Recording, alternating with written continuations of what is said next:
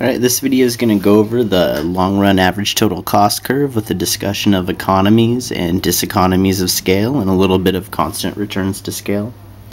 So first when we look at our long run average total cost curve, we see this relationship where as output increases, costs go down.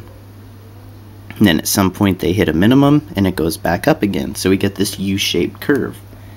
How we get this long run average total cost curve is through a series of these short run average total cost curves. So there's an infinite number of these short run average total cost curves.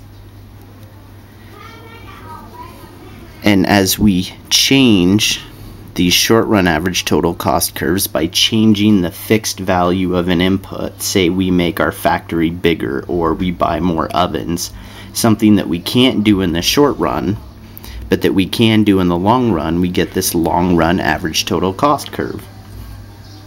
So what happens is in the first part of the curve where costs are going down as input increases, we're in the economies of scale range.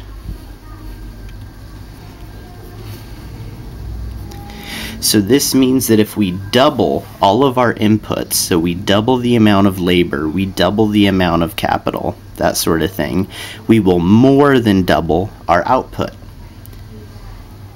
So economies of scale means that it makes sense to grow larger. We double all our inputs, more than double our outputs.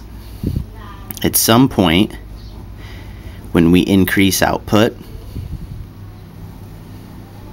costs remain the same. So this is constant returns to scale.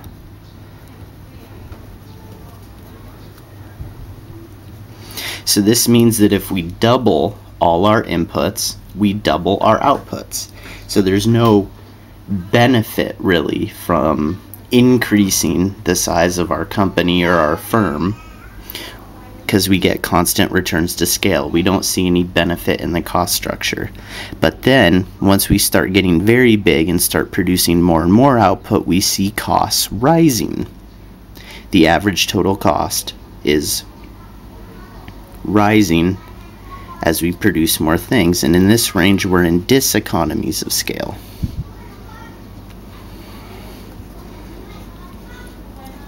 So this means that if we double all of our inputs, we less than double our outputs. So if we hire twice as many people and get a factory twice as big, our output doesn't double. Why? Because average total cost is going up over this range as we produce more and more of the output. So this is how the economies of scale, constant returns to scale, and diseconomies of scale relate to our long run average total cost curve.